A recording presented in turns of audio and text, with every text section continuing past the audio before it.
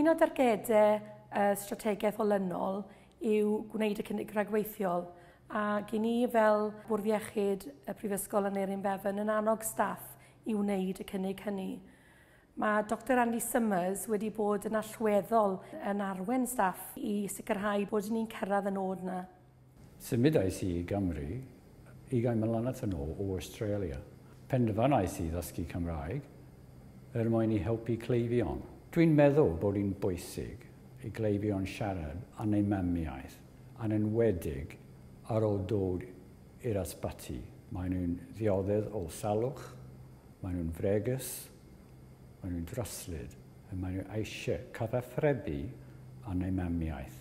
Dwi'n siarad â nhw cyn eillio triniaeth, ac ar ôl maen nhw'n dihuno o'r anesthetig, aesthetig, maen nhw'n bwysig i glywed y iaith naturiol.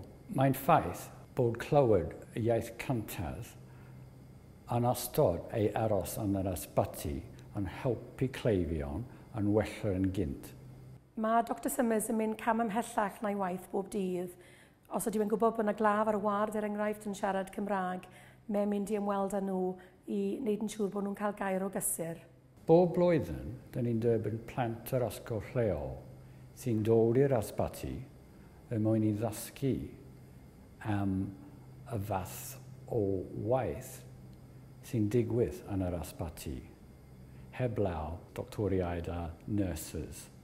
Fues i gyda plant blwyddyn chwech eleni a ges i sioc ar yr ochr orau wrth weld ffaint oedd Cymraeg Dr Summers wedi datblygu ers y tro gyntaf bues i yma naw mlynedd yn ôl. Oedd y plant yn gallu cyfathrebu yn hollol gyfforddus gyda Dr Summers yn y Gymraeg, ddim yn goffod cyfieithu ond nhw'n gallu siarad yr iaith o'n nhw'n gyfforddus yn ei siarad heb gorfod feddwl am unrhyw eidau Saesneg.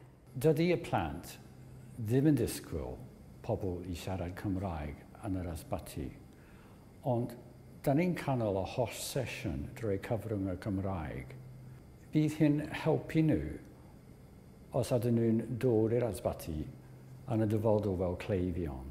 A byddwn nhw'n gwybod bod pobl yn yr asbati yn siarad Cymraeg gyda nhw. Mae'r ymweliad blynyddol i'r ysbyty yn werthfawr iawn i'r plant achos mae'n agor eu llygaid nhw i'r ffaith bod y Gymraeg yn iaith fyw i lot o bobl o fewn yr ysbyty. Dwi'n redeg clwb cynio y llong yn yr ysbyty er mwyn i helpu cydweithwyr a maddau e eu Cymraeg, ac mae hyn yn megu hader yn plith y staff. Fel myfyrio blwyddyn 2 ar bitau iechyd a gofal cymdeithasol, mae gen i pleser fawr yn siarad ac yn dysgu Cymraeg yn y Dwi'n teimlo'n bod medru siarad Cymraeg yn y yn agor llawer drysiau ac mwy o profiadau yn ac yn y. I enjoy helping our Welsh language officer organise events for the health board through the medium of Welsh. And we're aiming towards a million Welsh speakers by the year 2050. And I, along with everyone else, has a role to play in that.